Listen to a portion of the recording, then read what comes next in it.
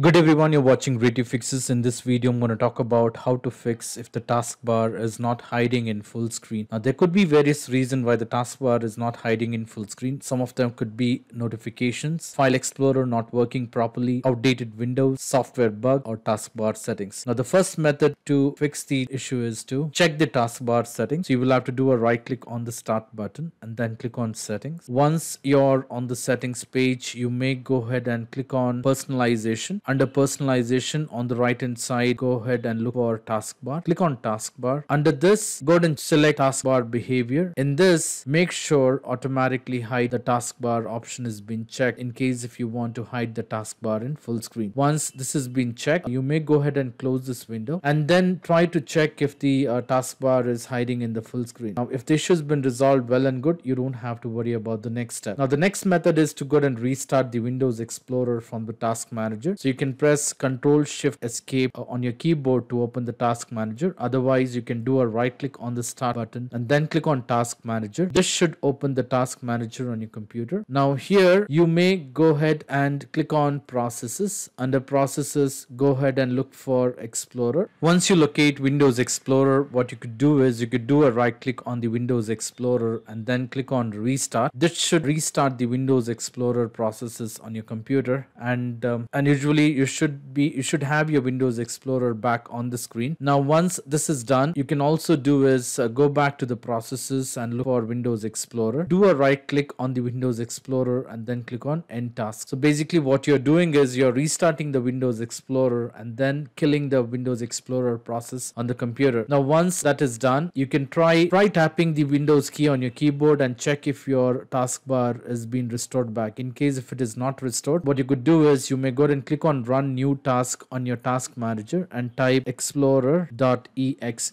and then click on OK. And this should restore back your Windows Explorer on your computer. It might take about a minute or two. And uh, then you can try to check if the taskbar is hiding in the full screen. Now in case if it is hiding in the full screen you don't have to try the next method. Now the next method is to go and check the app notification. So with this you have to make sure that you have no active notification from apps that are important if there are any active app notification then it might not be able to get or hide the uh, taskbar when you are in the full screen so make sure any of these notifications are read or they have been closed. Now, in spite of this, if you're still facing a problem, another settings what you could do is you could also disable the notifications for apps. So to do this, you will have to do a right click on the start button and then click on settings. Once you're on the settings, you may go ahead and click on personalization and then on the right hand side, you may go ahead and click on taskbar. Once you're on the taskbar, you may go ahead and expand taskbar behaviors and uncheck the box which says show badges for show badges badges on taskbar apps. You may go ahead and uncheck this. Once this is done, you may close this window and check you are able to hide the taskbar in the full screen. Now, in spite of trying all this step and if you're still facing a problem, the next method what you could do is you could go ahead and repair your system files with DISM. Now, to do this, you will have to open the command prompt. So, in the search window, you may go ahead and type command prompt. As a best match, you would see command prompt and then do a right click and then click on run as administrator. In case if you get a user access control prompt you may go ahead and click on yes or continue on the screen. Now here you will have to go ahead and enter the couple of commands. The first command what you will have to do is you will have to go ahead and run the command to scan the health. So I will paste the command in the video description. You can copy it and paste it here. By doing a right click on the command prompt that should automatically paste the command. Or else you can do a right click on the command prompt window here and then click on edit and paste or you can use control V on your keyboard. Once you have typed the command hit enter. Now it will take about about 20 minutes to scan and uh, once the scan is complete you will have to run the next command to restore health. So let's wait for the scan to complete. Once the scan is complete you would see a message on the screen that the operation completed successfully. Next command what you will have to go ahead and run is to to run the command to restore health. So you can copy the command from the video description and paste it in the command prompt. You can do a right click and then click on edit and then click on paste. And that should uh, paste the command in the command prompt. Once once you have the command prompt you may go ahead and hit enter. What this will do is it will fix the corrupted file and it will take about uh, more than 5 to 10 minutes to complete this to uh, execute this command. So you may go ahead and hit enter. Once the restore health command has been successfully executed it should have repaired the corrupted files on your computer. Once this is done you may go ahead and close this window. And at the same time what you could do is you could go ahead and try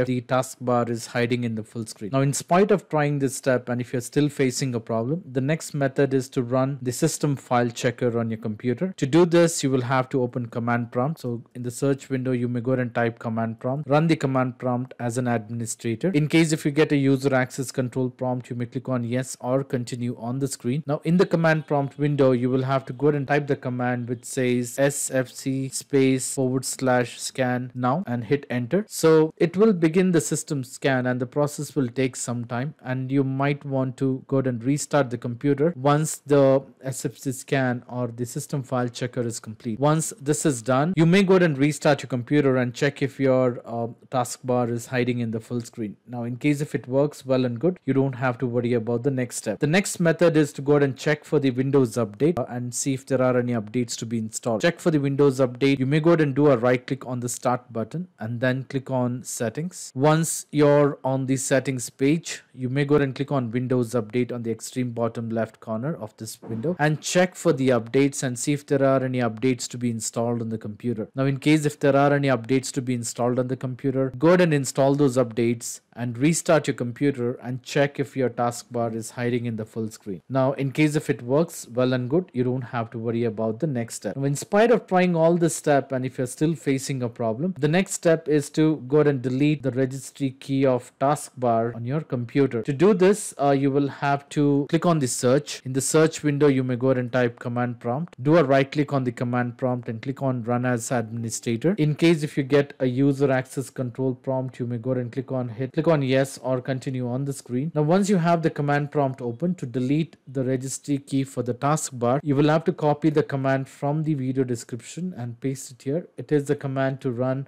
or delete the registry key. All you need to do is you can do a right click and then click on edit and then click on paste and hit enter. This will go ahead and restart your computer. Now once the restart is complete, you may go ahead and check if your issue has been resolved. In case if your issue has been resolved well and good. Now in spite of trying all this step and if you're still facing a problem, you may go ahead and leave me a comment in the comment section so that I can come up with the possible solution. I hope this video was useful. In case if you like this video, please make sure to hit the like button and do not forget to subscribe to my channel. Thank you. Have a great day.